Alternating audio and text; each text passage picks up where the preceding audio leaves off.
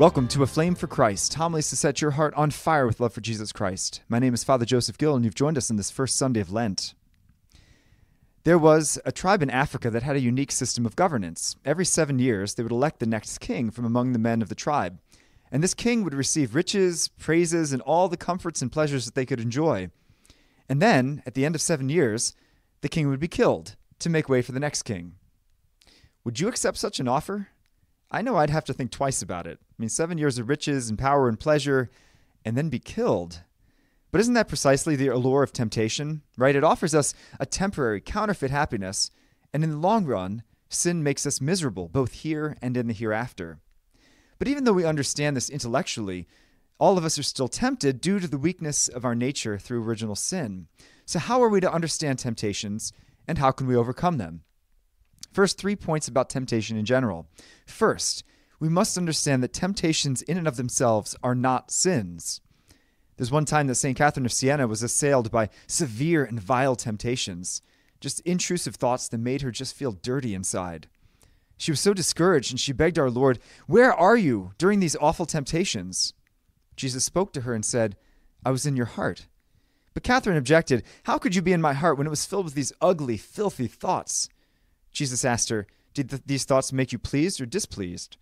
Well, Catherine responded that she was disgusted with these thoughts. And so our Lord responded, It was I who made you disgusted with them, for if I was not dwelling in your heart, you would have found them delightful. So even a strong temptation or feeling is not a sin so long as we don't have a desire to have it. Second important point about temptation God allows temptations in order to make us holy. I once knew a young man who went to Catholic schools all his life, but when his Catholic high school had closed, he began to attend public school, and at the t- same time became very, very fervent in his faith. In speaking with Michael, he shared that he had never really had to cho- choose to follow Christ because the Catholic faith surrounded him at all times, but once he went to public school, he was faced with a serious choice Christ or the ways of the world. And thankfully, he chose Christ. And the truth is, if we didn't have temptations, there'd be no opportunity to choose to follow Christ. The stronger the temptation, the greater the victory of our soul when we conquer it. Besides, temptations also keep us humble. When we feel overwhelmed with thoughts of anger or lust, envy or pride, gossip or cheating, we recognize our desperate need for a Savior. Third, it's also important to remember that every temptation can be overcome. St. Paul writes in 1 Corinthians, he says, No temptation has ever overtaken you that is not common to man. God is faithful, and he will not let you be tempted beyond your ability. But with the temptation, he will also provide a way of escape, so that you'll be able to endure it. Sin is not inevitable, no matter how strong the temptation. Remember, the grace of God is always stronger than any temptation. So, since temptations are common to all human beings, how do we overcome them? Four suggestions. First, and kind of the most obvious, we pray. We pray where we're in the midst of temptations and pray tenaciously. Many times, a quick Hail Mary is not enough to overcome a strong temptation. It may mean getting down on our knees and offering the rosary. Because the only thing stronger than sin is love. And when we love God more than we love our sin, we will be able to overcome any temptation. A second way to overcome temptation, to make resolutions. St. Dominic Savio, at his first communion, made several resolutions for himself, one including this one, which may surprise us. His motto was death rather than sin. Death rather than sin. And yeah, it might be helpful in times of temptation to make those kinds of resolutions in our heart, or even out loud, saying, Lord Jesus, grant that I may die a thousand deaths rather than offend you. Lord Jesus, I reaffirm that you are King of my life. Lord Jesus, I will suffer and endure all things for love of you. A third great help to temptation is fasting and self denial. It's powerful means because our will is like a muscle. If we exercise it, it grows strong, but if we let it sit, it just becomes flabby and weak.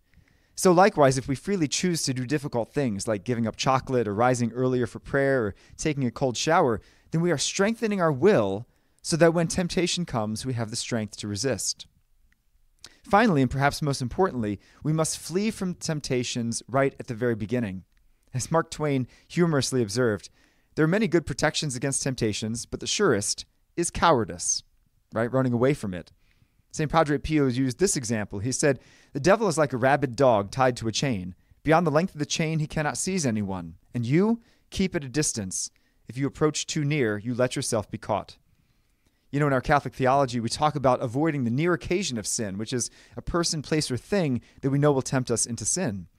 So, if spending time with a certain friend is always an occasion for gossip, maybe we need to find ways to spend less time with them. If our smartphone or computer is a temptation, we've got to put an internet filter on it or get a dumb phone. If we're tempted to envy every time we walk into Forever 21, then go shopping at Target instead. Socrates used to say, Know thyself. And that's good example for this good advice for the spiritual life too.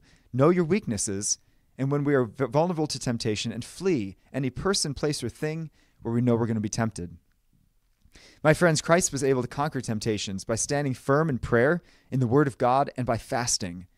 But did you notice the rewards of his faithfulness? The gospel tells us that angels ministered to him. After the battle, we too will enjoy the company of angels and saints. And that is worth fighting for.